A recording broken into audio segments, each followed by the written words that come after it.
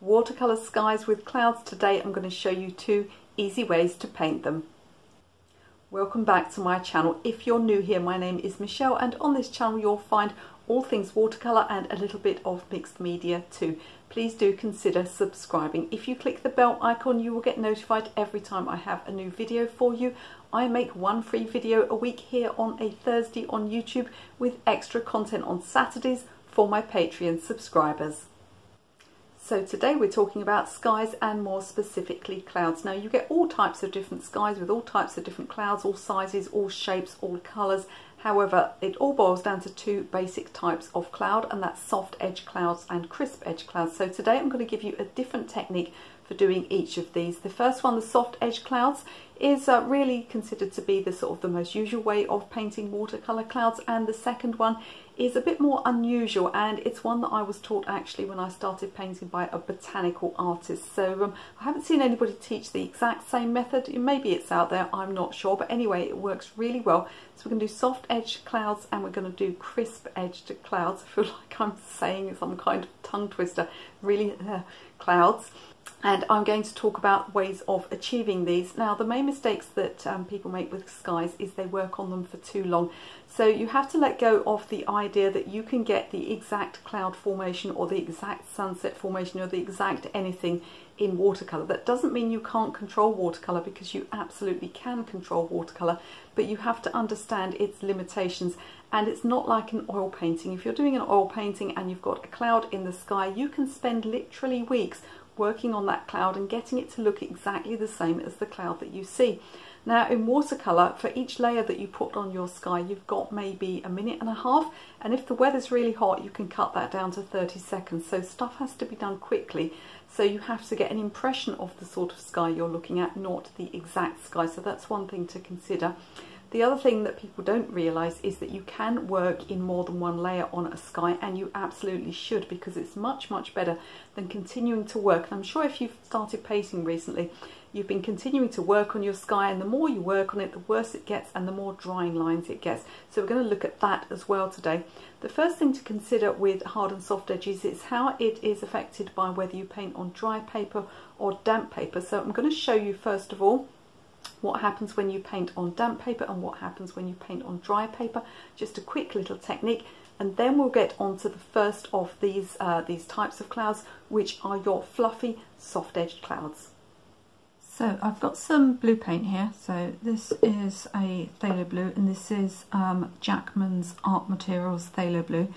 So I'm going to use um, more than one blue today, which I'll explain about later. But just for the second, I want to show you the difference between placing a colour onto wet paper and placing a colour onto dry paper. So if you've been painting for a little while, you probably know this, but if you're a beginner, this is probably one of the most important things that you must understand about watercolour painting. So here I am on dry paper, and you can see that I get a real sharp edge to the paint. Even if I leave the edge kind of ragged like this, it's still sharp, by which I mean it doesn't fade gently out. So if I want it to fade out, I need to go onto damp paper. So I'm going to get a clean brush and clean water.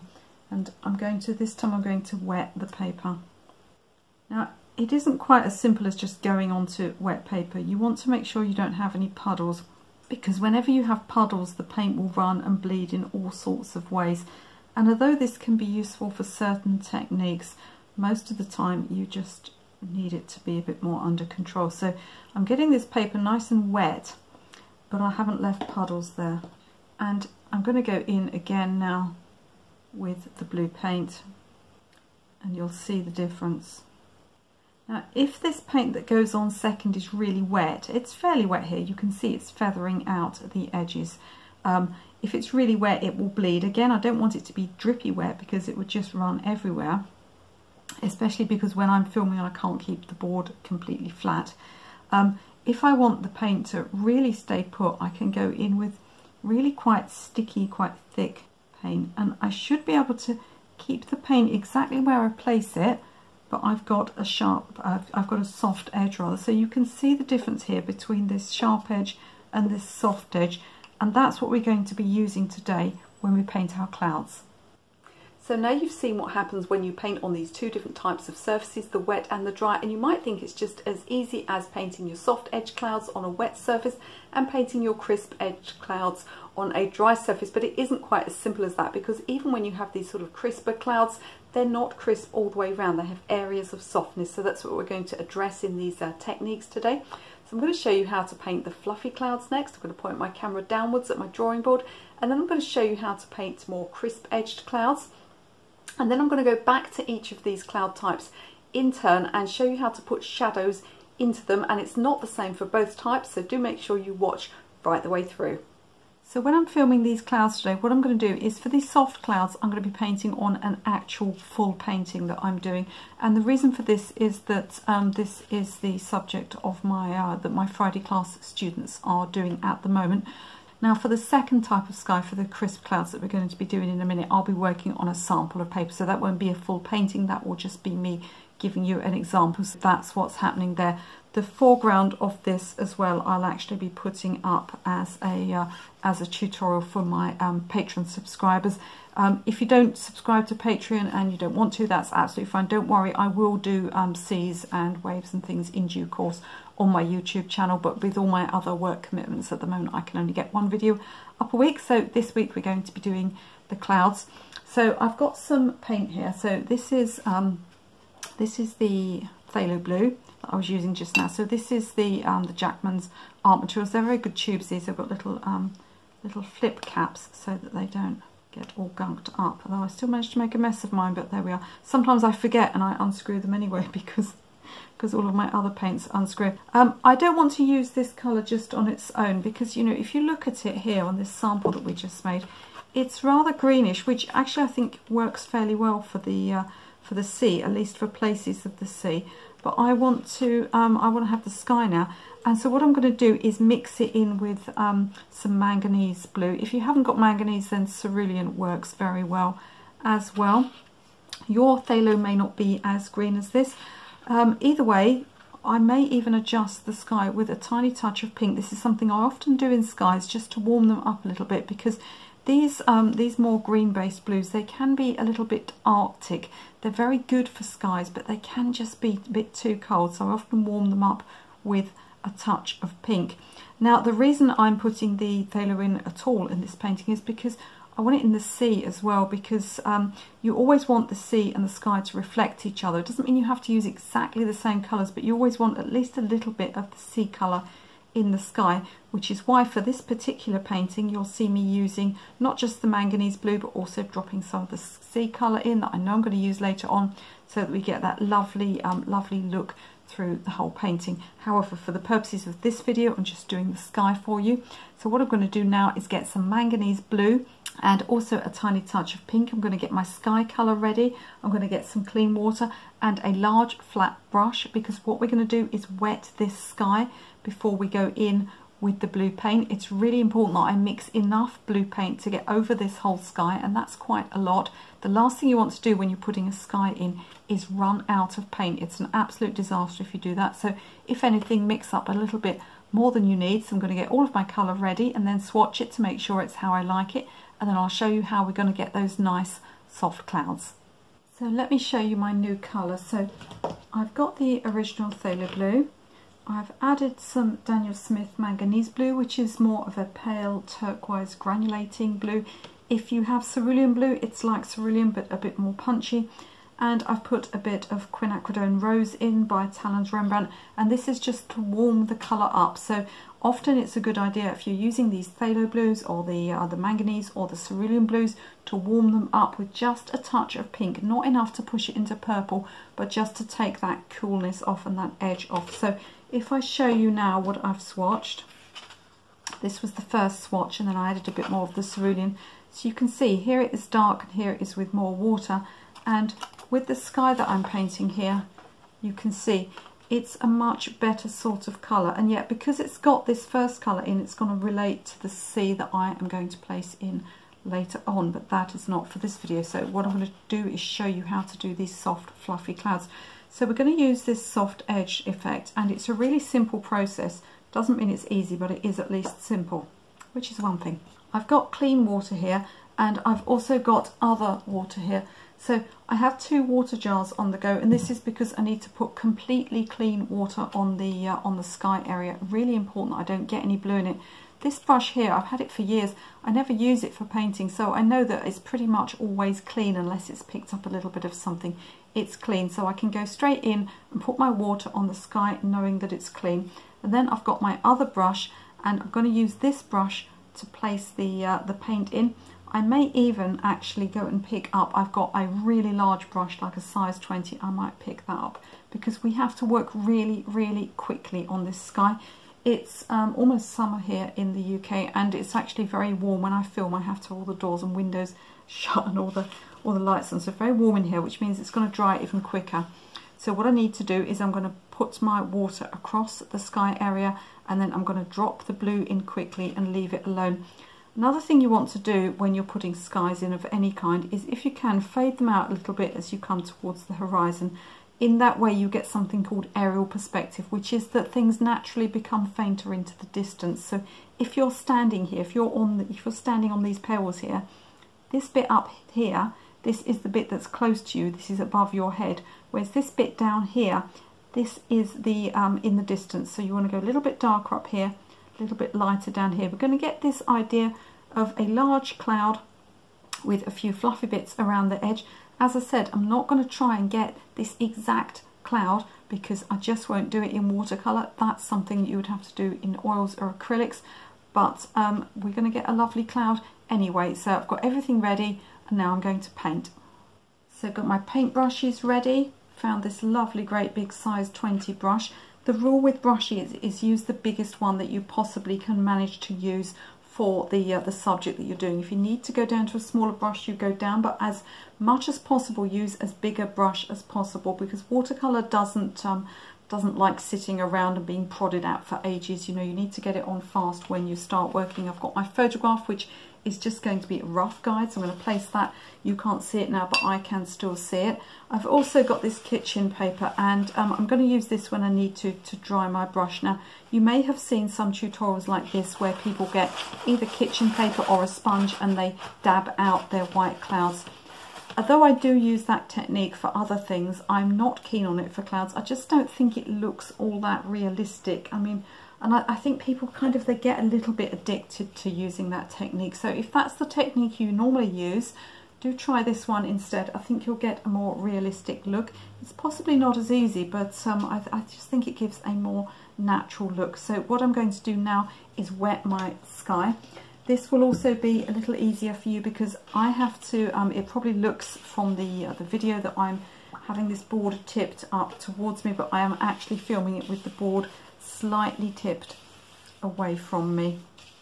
I've never yet managed to um, master having a camera that looks flat down at my board and um, I have all the uh, all the gubbins that I need for it. I built a, a rig to go above my head. I have um, my partner lent me his proper camera but I just couldn't get on with it. I had trouble with lenses and self-focusing and uh, you know what, in the end, I'm not very, uh, very great with technology. In the end, I just found so much easier to use my phone and I get so much of a, a better result, but it does not like being tipped completely downwards. Even with adjusting all the settings, it just won't stay put. A little bit of fluff there, I'm just getting rid of that.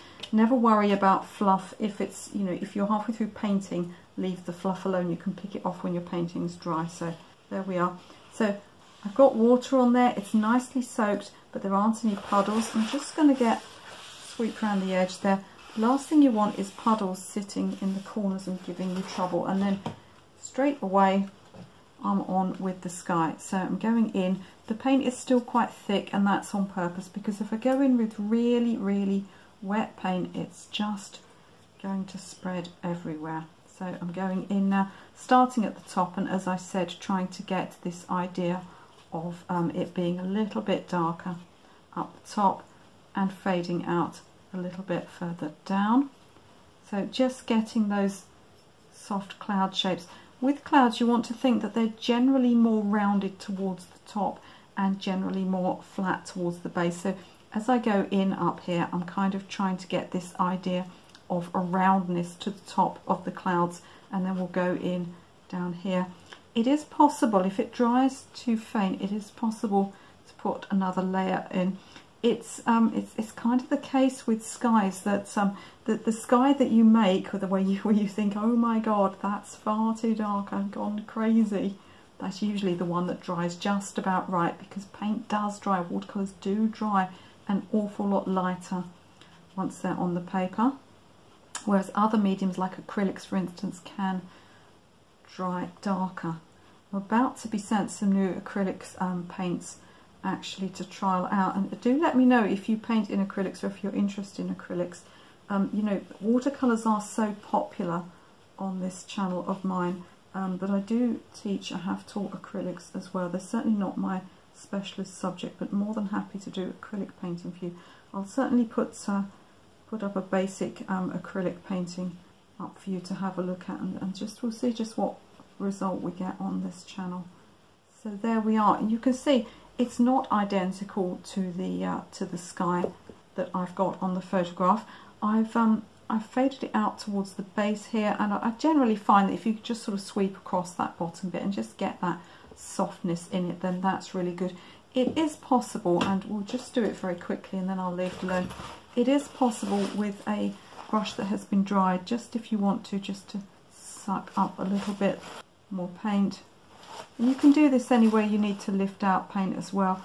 But I really want you to be careful and not work on it too long. I've got about 10 seconds here before it just gets too dry to work on. So I'm going to cut my losses and leave it at that. As I said, if it's not dark enough, let it dry, re-wet it and put another layer on. We're going for softness anyway. We're going to re-wet this one later when we put the cloud shadows in. But um, that's the first layer and to be honest I'm fairly happy with that.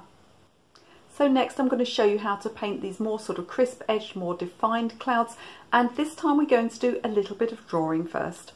So on to method two. Um, forgive me again if you can hear the pigeons, they sit on the roof and at this time of evening they begin to sing. So you can see this time I've actually drawn the cloud shapes. Now I don't always um, advocate for drawing in skies, in fact almost never because it usually gets trapped under the paint and it looks you know very odd which you know you get away with it if it was just behind a bush or something but in the sky it's not great. But for this particular method we're going to be avoiding the pencil line so we'll be able to rub the pencil out before we go on to um, onto putting the shadow on. So I've got um, I've got the same paint. I put a bit more um, of the manganese in there just because there wasn't much in there, and it's a little bit runnier this time. We're going to do the um, almost an idea of putting a flat wash around the cloud shapes um, so they'll be hard edged. Now if we just did that they would look rather um, unnatural. So what we're going to do is um, this method that was taught to me by a botanical artist many years ago. So what I'm going to do is actually get um, clean water. I'm going to paint the clean water in the clouds. What will happen then is we'll take the uh, we'll take the blue paint around the edges and we'll have this nice crisp outline. Now because you can't really see whereabouts water is, what will happen is occasionally we'll end up probably touching the blue to the water. And so we'll get an area that is soft. So we're going to get this really lovely natural effect where you've got a lot of crisp edges but also some softness. So that's what we're going for. Now of course I would generally be working on stretched paper. This is just a demonstration piece. So we're going to start now and I'm going to paint my clouds in clean water. And then I'll show you how to do the next bit not only have we got pigeons the neighbour's dog is now barking other neighbour was actually mowing his lawn um, earlier all going on here just going to rinse that brush you can see it's got a tiny bit of blue paint on it, but it's, it's a very small amount, it won't notice. So I'm going to work all the way around all of these clouds, putting the water inside of them, and then I'll show you what to do next. Now I've got water in all of my clouds. As I said, you're going to work flat, so it'll be easier for you. I'm on a bit of a, a slope, which is why you can see the water beading here. So I'm going to go in now. I've got my big brush again, and I'm going to start at the top here. And I'm going to be working around edge of those clouds like so. Now it, the paint will start to dry so what I'm going to do is make sure that I keep this leading edge wet and you can see I've arranged it so there's only a couple of pathways sort of through so that I'm not trying to paint over here and paint over here because I don't want these edges to dry anywhere except where we're actually going around the edge of the clouds. There's our first layer.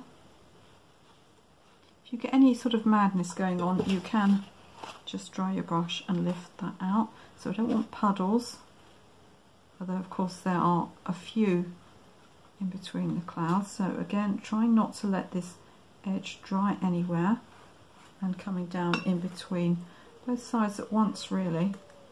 This is the whole thing with watercolour painting, you have to work really, really quickly. And carrying on with that idea from the last sky, the idea of the fact that you should be getting lighter as you come down here. Got very small spaces, so I'm actually going to change to the uh, to the other brush and go in with a bit more clean water so that I can get an idea of things being a bit lighter down here. It's already drying down near the horizon here, so I'm going to sweep across so that I don't get any strange shapes going on there. Again, I don't want too many puddles, but I'm not going to mess around with it too much. I'm Just going to lift some of these puddly bits out here so we don't get too much running. Um, it will lay flatter than that and nicer than that if you're on stretch paper. You can see this is why I stretch my paper when I'm doing anything except a demonstration piece. But what we've got there is crisp edged clouds with some softness. Now clouds painted like this, just leaving white paper, can look rather flat and rather two-dimensional. So what we're going to do now is go back to the first clouds I painted, the soft fluffy clouds, because they're dry now. I'm going to put another layer on and we're going to paint the, uh, the cloud shadows. So I'm going to show you how to mix the colours and how to apply the cloud shadows so they are also soft and you don't have any drying lines. At this point, if you're getting some value from this video, if it's helping you a little bit, could I just ask you to do me a favour and click the like button YouTube rewards audience interaction. That's likes, shares, subscribes, comments. My channel has just passed 10k. I'm so grateful to all of you. And um, if you can do any of those things, then uh, YouTube will show this video to a few more people. So now these soft clouds are dry, I'm going to put um, some shadow. I'm going to use one of my favourite combinations. So what I'm going to do is get some Payne's Grey, which is this one here. Put it over here actually and I'm going to mix some of the uh, the quinacridone pink that I've already used into it. Now it doesn't have to be pink, you could put a touch of something like this cobalt violet in, uh, any sort of any pinky purpley colour, just to give it that sort of, um, shadow comes in different colours so it doesn't have to be this purplish, purplish mix but I do find that more often than not, particularly if it's a little bit stormy, you get this kind of hint of purple to the cloud colour and because Payne's Grey has already got a ton of blue pigment in if you put a little bit of pink or lilac in it'll just push it into that slightly stormy colour. You can mess around with, um, with yellow and things like that but you want to be careful if you're new to colour mixing because you can easily end up with green. So I'm going to err on the side of uh, caution here and just have a look at that. I actually would like it to be a little bit more pink than that so I'm going to pop little bit more pink in just off camera. And let's try that. Good idea to just water it down and see how it looks when it's got a little bit of water in. That's not bad at all. So I'm going to use that for my um, my cloud shadow in order to apply it I want it to be soft I don't want to put it straight on dry paper again we'll get those hard edges that we saw at the beginning so I need it to be soft now if you apply water in places, which you may do later, but for this one we're not going to, what can happen is that where the water goes on top of the paint you can get a drying line. Because we've got so many sort of soft clouds here and because there's so many places to put the shadow in, I'm going to re-wet the whole area and then what I'm going to do is I'm going to just drop those cloud shadows in. Cloud shadows are generally towards the base of clouds and sometimes they sort of delineate one cloud from another so we'll do a little bit of that as well. I'm going to re-wet with clean water this whole area with my big flat brush. Now you might be thinking, oh god, it'll all move, but it won't actually. Um, it's important that you let it dry because if I did this and the paint was still wet, too much of it would be on the surface. It's a bit more stuck to the paper now. There will be some movement and there'll be some softening, but these are soft clouds anyway, so we don't mind that. I'm going to apply it very gently. You know, if you get a big sort of stiff brush and you really scrub that water on, then certainly, yes, you're going to make a mess if you've gone really, really over dark with it, of the staining colour, you can again um, get some kind of mess. I'm going to start wetting at the horizon because that's where there's the least paint so that I'm going to spread up and out. If I start at the top, is me dripping water, let's get on with it before that water dries. Um, if I start at the top where I've got the strongest paint pigment then there's a risk that I could spread more pigment down towards the horizon which I really don't want. So that's why I'm going from the bottom up to the top. And you can see as I apply it here there's really very little change. In fact if you've made a bit of an error here and there and it's rather too um, you know you've got rather too many hard edges. This can actually be a time where you can soften them up. I can take some tissue paper around the edge there. Again you don't want any puddles sitting either along the edge of the tape. They can e even seep underneath the tape and then they sort of pop back in to hurt you later. So going in I'm gonna again start I'm gonna start at the top here because this is where I want the darker shadows to be. And then just like the sky I'm going to lighten the shadows as I come down. I think we'll actually join that one up there. So you can kind of within your cloud shapes you know you can start to make other shapes and divide maybe one big cloud. If you've got one big cloud and it just looks like a big old lump you can um, divide it up. Now where you get too much of that spreading there and it's not a bad thing. It can end up looking a bit like rain that's about to fall but if you don't like it and it's spreading too much like this just dry your brush and lift some of the water out of it it's spreading because wet wants to go across to damp. So if we even out the water levels by picking up some of that water it'll stay put. I'm picking up the smallest amount on my brush here because the last thing you want to do is to get rid of all the white because then you kill the painting. And that's a very easy thing to do whether you're painting you know white clouds or whether you're painting snow. It's really easy to end up killing off all of the white and not ending up with any at all so nearly there. I'm just gonna get some very watery colour and just go down the base here. You know I could even if I wanted to just get a little bit something going on there the horizon. Depends you know how stormy you want it to look. Bit of a drying line here. I'm just gonna join some of this water up because it's starting to dry there and just want to even those levels out you're aiming at all times to keep the water level fairly even again once it's looking okay quit while you're ahead there's a brush hair right here. I'm not going to touch it. I'm going to pick it off when the painting is dry. There we are. We have our soft clouds and we have our cloud shadow, which makes it look far, far more three-dimensional than just having the white alone. So next we're going to go back to my crisp edged clouds, my more defined clouds, and we're going to add the shadows to those. But we're going to take a different approach because I don't want to re-wet the whole sky because this will soften the crispness of the clouds. That was fine with our soft fluffy clouds, but we want to take a different approach this time. So I'm going to show you how it's done. Make sure you watch until after that as well because I'm going to show you as well how to correct any mistakes because often with these uh, these harder edged clouds sometimes you find they're a little bit too hard and there are areas that you would have liked to be softer which went hard and I'm going to show you how to correct that after they've dried. So my crisp edged clouds have dried and what I want to do first is remove as much of this pencil as I can. So I'm going to sort of take this out. I might just leave this line here because I quite like this line dividing one cloud from another. So that just gives me um, an idea of where to put the uh, put the shadow. I'm going to take out as much of this other pencil as I can.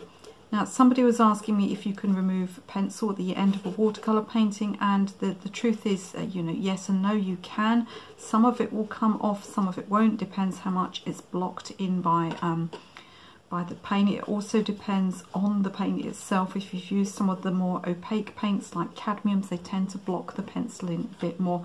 The truth is, use as little pencil as possible. A lot less than me. I have to use more. You have to remember when you watch these videos, I have to use more pencil than uh, than you do because I need you to be able to see where it is on camera. So for yourself, just put it on as lightly as possible and then take it off at as early a stage as possible. You know, if you can take it off once you've used it and you've used it to delineate an edge, don't wait until you've put another six layers of paint on it. Of course, the paint, the paper must be dry because otherwise you'll rip the paper as you uh, as you take it off. There we are. So I've got most of that pencil out. Now I'm going to put the cloud shadows in. So as I said earlier, I'm not going to re-wet the whole of this sky because I'd lose the crispness then to these, these sharper edges. So I'm going to wet individual clouds, which is a lot less stressful because I can take a bit more time over it. I haven't got to worry that they're all wet and they're all drying at the same time. But it's not quite as easy um, to apply the, uh, the colour in this way. Um, because if you put water and you get water on top of the paint, the water itself can leave a drying line. You don't need any colour in it, it can still leave a line. So I'm going to have to be a little bit careful. Um, so I'm going to apply my water. Let's apply it to this one here. I'm going to make sure that I stop the water short of the edge. So I'm just taking around all of this inside edge. Of course there's a little bit of paint in here where it's bled in, but it's mostly clean paper. So I'm taking the water in there. Now the way to avoid the water leaving a, a, drying line, for instance across this bit of paint here, is to make the edge of the water almost a little bit drier. Hard to explain, but what I'm going to do is dry my brush there and sweep out sort of some of the excess water. So you're almost fading the water out actually. Being careful not to go, however, outside of that area. So I have stopped that water short inside. And then I'm going to go straight in with a little bit of that shadow colour. I'm going to be very careful not to go right to the edge there. I mean, I could do if I want to get, you know, a crisp edge there as well. If I want to take the shadow right up to the edge of that cloud, I could do. But generally speaking, I'm going to keep it on the water. It's just a little bit easier. So I get a bit more softness there. And then I can work on each of those clouds. As I said, I've got separate water here, so I don't have to sort of, otherwise I'd now be working with dirty water and I'd be putting dirty water on. So you always want to work with two water jars if it's um, practical to do so, if you're at home particularly. It's, it's not always practical if you're out painting outdoors or if you're in class or something.